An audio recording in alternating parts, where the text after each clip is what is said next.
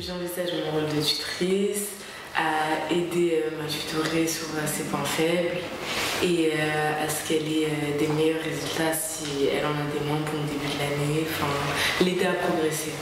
Oui, je trouve que c'est bien d'être que deux en binôme parce que ça, ça permet de se concentrer sur une seule personne en particulier et sur ses objectifs. Des questions simples en fait. Pourquoi, pourquoi c'est difficile pour toi?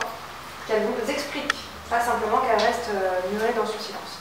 Je peux lui demander comment elle peut résoudre son problème seule. Ça c'est important parce qu'il ne faut pas lui donner tout de suite la réponse. Pas lui dire bah, tu aurais lever plus tôt, il faut qu'elle trouve elle-même la solution. Sinon, vous faites à sa place. Je peux lui donner des conseils d'organisation. Éventuellement, si vous voyez qu'elle est en difficulté, qu'elle vous demande, là vous intervenez et vous lui donnez des conseils.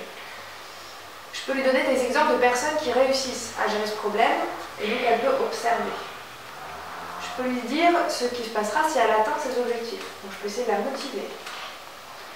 Je peux être patiente. Ça c'est difficile. Parce que tout de suite, quand on donne tout de suite la solution, c'est qu'on n'est pas patiente. Et j'évite de lui donner la solution car il faut qu'elle la trouve toute seule. Ça récapitule un peu tout ça. Donc ça, ces points-là, vous les aurez avec vous. Ils seront affichés ici aussi. Je ne pas quelle tutorée j'aurai, puisque en tous les cas, la tutorée, c'est à nous de, de l'aider à se mettre à l'aise et à l'aider à, à, progresser, comme j'ai dit tout à l'heure, etc. Donc, après, c'est à la tutorée de s'adapter.